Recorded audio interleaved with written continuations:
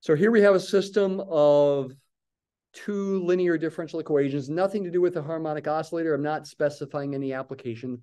All we're after is seeing what the phase plane looks like and using nullclines to help us. In chapter three, we're also going to learn about what are called eigenvalues and eigenvectors, but we're not quite there yet. So we just focus on the nullclines. The x nullcline is where dx dt is zero. So that's equivalent to negative 2x minus 2y equals zero. Solving that for y as a function of x, that's the same as y equals negative x. A line through the origin with a slope of negative 1. The y nullcline is where dy dt equals 0. That's negative x minus 3y is 0. Once again, solve for y as a function of x. You'll get y equals, looks like negative 1 third x. A line through the origin with a slope of negative 1 third. So let's go ahead and draw it now. This is this is tricky. People always have trouble drawing phase planes accurately. Okay, you might say it's one of the most difficult things for people to get perfect scores on on exam problems, including in-class exams, is drawing phase planes. So pay good attention here. The x line I'll draw in red, say. y equals negative x. Line looking like this. y equals negative x. The y line I'll draw in green y equals negative one third x, still going through the origin, but the slope is negative one third, so maybe about like this. Where x and y nullclines cross, and this is always true, whether it's a linear system or not, where they cross is equilibrium points. With a linear system, if the nullclines are different lines, as they usually are, they're only going to cross at one point, and that'll be the origin. With linear systems, and no constant terms for those linear systems. It's like a linear transformation. The origin is going to be an equilibrium point always. And again, if the nullclines are different lines, it'll be the only equilibrium point. That does have relationship to linear algebra. If I thought of the right-hand side functions as defining a linear transformation, that linear transformation would have a trivial kernel. The determinant of the coefficient matrix, negative 2, negative 2, negative 1, negative 3, is non-zero. It's an invertible matrix, non-singular. Invertible means non-singular. Non-invertible means singular. Singular is kind of special, rare. Non-invertible matrices of square matrices are rare. We cross the uh, what x nullcline with vertical tangents, so draw a bunch of little vertical lines there. Cross the y nullcline, y equals negative one third x, with horizontal tangents. But it's still tricky. That's not enough. You got to figure out what direction is the vector field pointing in in between the null, the nullclines. There's four regions in the plane that the nullclines separate the plane into here. The region up here, a region down here, and these two wedge regions here and here. To figure out the direction of the vector field, pick an arbitrary point in each of those regions. So I imagine picking a point up here where both x and y are positive, and plugging that point into the vector field, I'll get negative numbers here, right? If x and y are positive, these are going to be negative numbers. Meaning dx dt and dy dt for solution curves will be negative. Both x and y are decreasing solution curves have to go to the southwest. Not necessarily in that exact direction, just generally speaking to the southwest. Down here where x and y are both negative, I plug them into the vector field. Negative times a negative is positive. dx dt and dy dt for solution curves is going to be positive. x and y are both going to increase. Solutions are going to go to the northeast. Again, not necessarily this exact direction, but just generally to the northeast. If I'm over here, I mean, I could pick a specific point over here, like, oh, I don't know, x is 5, y is negative 4 or something, and plug it into the vector field. let's imagine doing that. If x is five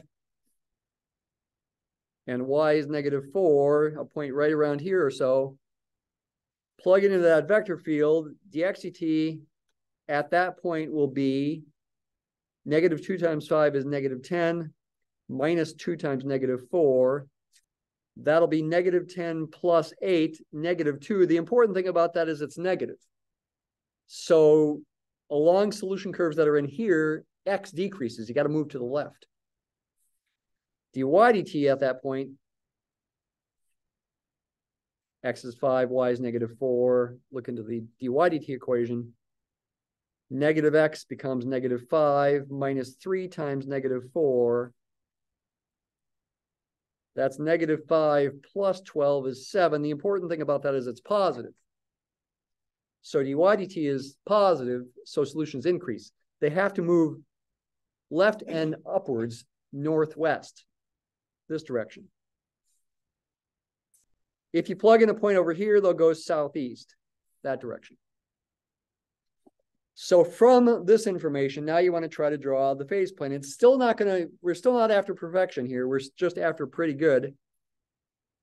It's difficult pick various different initial conditions, especially if you're doing it just by hand. Pick different initial conditions. Like if I started right there, I got to go to the southwest, and that means I got to cross this red X nullcline at some point. I got to cross it with a vertical tangent. Arrow going this direction. If I start down here, I'm in a region where you go to the north northeast. I got to go this direction. I'm going to cross the green line the y-nullcline with a horizontal tangent. Distinct solutions can't touch each other. That's uniqueness. This is a nice vector field. The uniqueness theorem says distinct solution curves can't touch each other. These curves, even though they're kind of heading toward each other, can't touch. And they're forced by the southeast direction here to head toward that equilibrium point at the origin. A similar thing would happen if you started down here head up this way, cross there, and go this way. If you started over here, head down this way, cross, and then head up this way. What if we start more over in this direction here? If you're over here, say, something similar will happen, but you'll be closer to the origin. Over here, something similar will happen, but you'll cross the nullclines closer to the origin. These solutions are all sort of getting wedged in here. You might say, well, it seems like it's impossible that they wouldn't touch, but they don't. It should seem reasonable that there might be some initial condition, maybe right around here, where maybe the solution heads straight toward the origin. Maybe. I'm not saying it's, it's exactly where I drew it, but that seems reasonable. And also, it should seem reasonable, but by the fact that these are getting squeezed in here in opposite from opposite directions, that maybe there's an initial condition that also heads straight to the origin along here. And that is true. Maybe they're not exactly where I drew them, but there are going to be straight line solutions, they're called. And those things are going to be the keys to eigenvalues and eigenvectors. And they're also going to be the key to changing coordinates to skewed coordinates to make the solution easier to find. That's my first big hint about how change of coordinates is really useful in differential equations. These straight line solutions drawn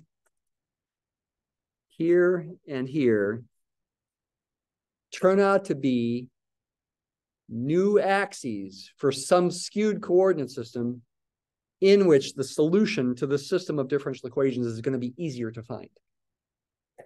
But then to find the, the solution with respect to the old xy coordinate system, somehow we're going to need to transform backwards.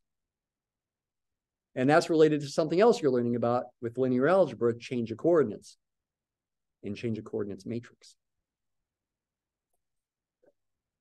Before we do the linear algebra problem, though, let's have Mathematica do something else with this. So I'm going to go ahead and enter a coefficient matrix for this system. So I could use vector plot or stream plot to confirm the, the uh, phase plane, but that's not my goal here. Let's enter that matrix, negative two, negative two, negative one, negative three. I'll call it A. As always, I guess. Negative two, negative two, negative one, negative three. What am I going to do with this? I'd like to re-emphasize the idea of the matrix exponential and the idea of the flow. Okay. I have talked about recently, and the, it comes up in the lectures, how in matrix form, if I write this linear system, first of all, in vector matrix form, d vector y dt equals a times the vector y,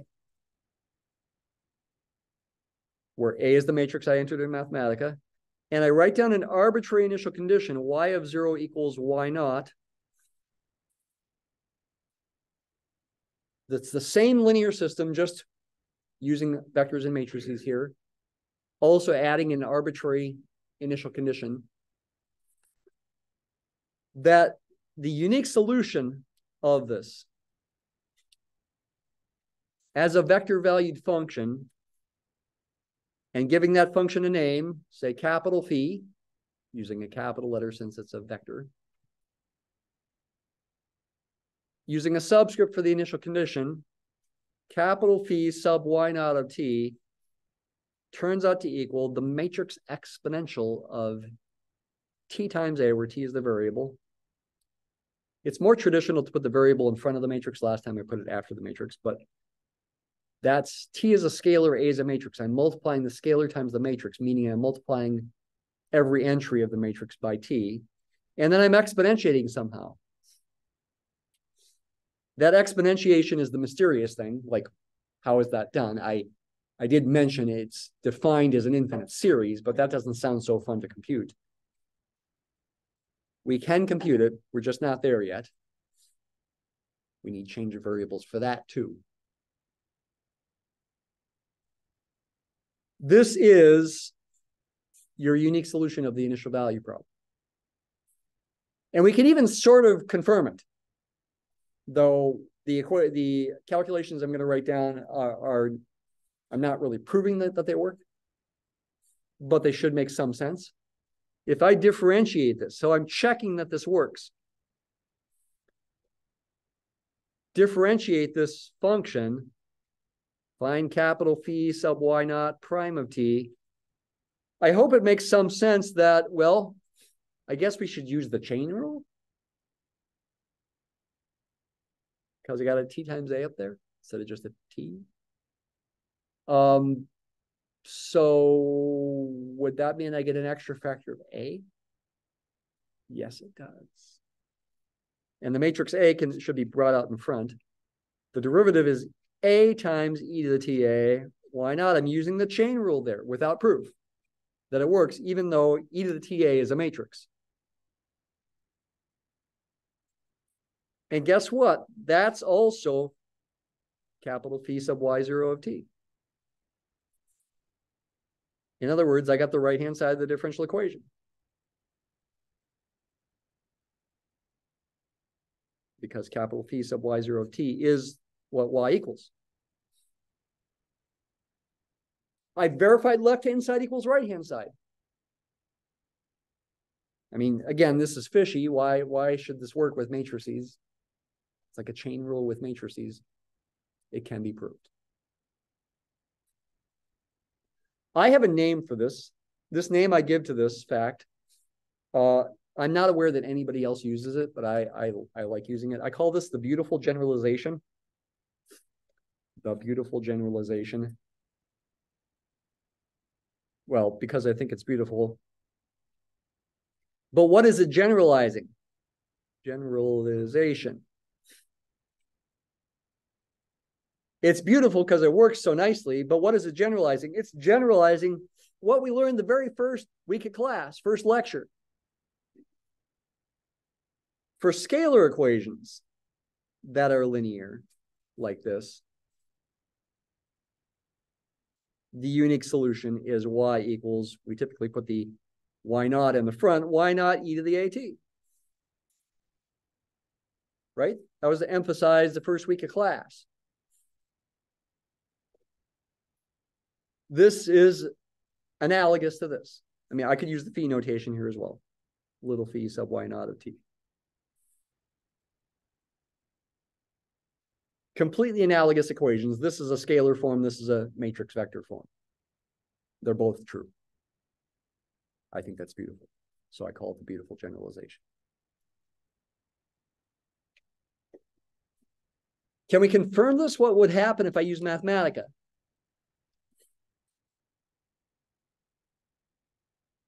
Again, matrix form just makes the output look like a matrix. Matrix X will compute the matrix exponential. I could do that for A itself, but I'm interested in T times A. And I'm also interested in multiplying that by an arbitrary initial condition vector, X naught, Y naught. The dot means matrix multiplication. It's not a star.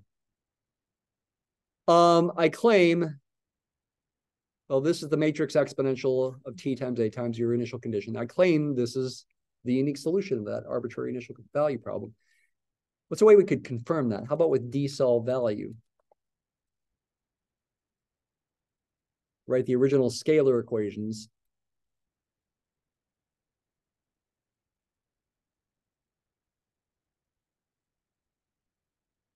Like this. Add in arbitrary initial conditions. Make sure I use double equal signs. Solve for x of t and y of t. DSolveValue can solve systems. I don't think we've used it for that before. And maybe I should emphasize, maybe I can put this in matrix form. Doesn't look the same. Maybe I have to expand it, simplify it.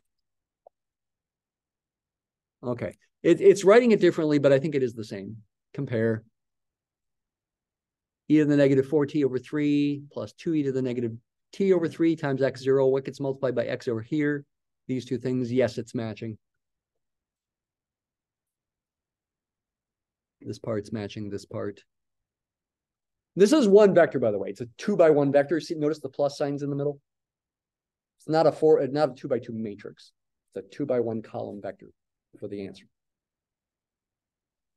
If we wanted to plot this in the phase plane, in a calculator, you'd have to use parametric plot, parametric mode. In, in Mathematica, you use parametric plot. Like that to plot things like this. But you'd have to pick something for x0 and x and y0. X naught and y naught. But we could plot it in the phase plane and see that it follows the, the vector field.